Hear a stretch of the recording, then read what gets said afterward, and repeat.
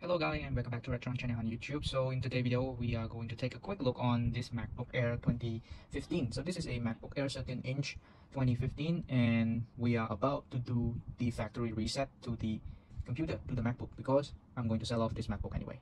So we have some little very little data but we don't want to uh, sold I mean we don't want to sell the MacBook to anyone with even a little data inside. So we want to make it brand new we want to make it reset to factory setting and etc yeah. So today we will focus on how do we actually do that. Okay so let's not wait any longer just go through to how we're going to do that. Okay guys so now i have just uh, restarted rebooted the machine. So what i'm going to do now is that i'm going to keep press and hold the command key and the r key just to get into the system recovery mode. So before we doing all of this i would like to guide you that you need to go ahead and sign out your iCloud. First of all, to sign out your iCloud, everything that make sure it's not going to stuck on any Apple logo or something or Apple uh, recovery or I don't know what they call it, uh, lost and found or something. We don't want to stuck in any of that, so we go ahead and delete uh, any unnecessary file that we think we want to delete or don't want to transfer to any new user. And yeah, so the most important is to sign out the iCloud. So once you finish all of that, you restart the computer, you press and hold the command R key like this, and it will land you on this page. So now we are in Mac OS recovery mode. So you will stop the computer at a page where you require to type in your uh, password to get access to the uh, recovery mode. So right here I have my uh, logo right here, the user. So I'm gonna click. So this one cannot be a soft touch. It's not gonna work. We're gonna press it all. So I'm gonna keep on pressing. Okay, and then we press on next. Now we have to type the key in the password. So this password is not any particular password. It is the normal user password that you use to type in to get into your computer. So I'm gonna uh, type in the password and then click on enter. Okay, so now we land in this page and I will tell you what should you do next. Okay, so now the first thing of all, once we land into this page, all you need to go to is to click on the disk utility right here. You click on continue.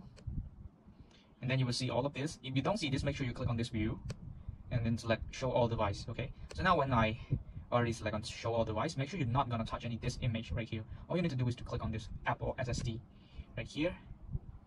Yes, and then you're going to erase. And then click on erase right there.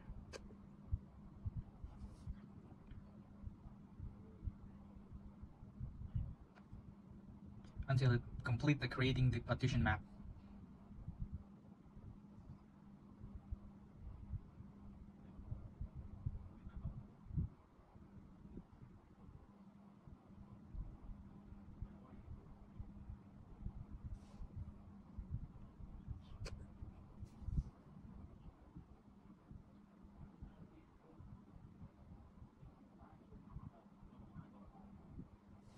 Okay, so now we are done. So click on done.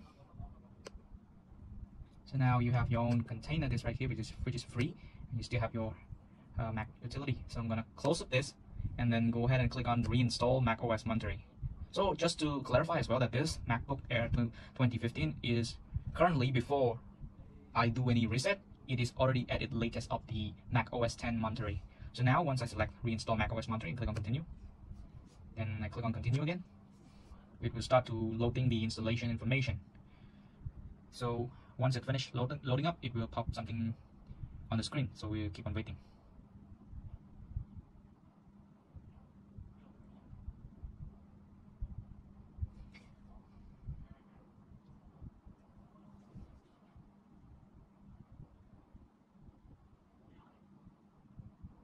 Okay, so now we are on the page where they're asking for an agreement on the term of license so yeah we click on agree.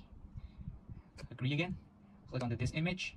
You can see that we have a 121.12 gigabyte total. So we are having 121 gigabyte available. So from this availability of the hard disk i'm going to press on continue. Continue again. And yes it will uh, install on the disk. So we will have the macOS installed. So you can see that there, there is time. There's a time countdown here it's about 2 hour and 19 minute remaining. So yeah once it's done we will get back to see what it looks like. Okay so i'm gonna pause the video from here and we'll see when it finally finish installing. Okay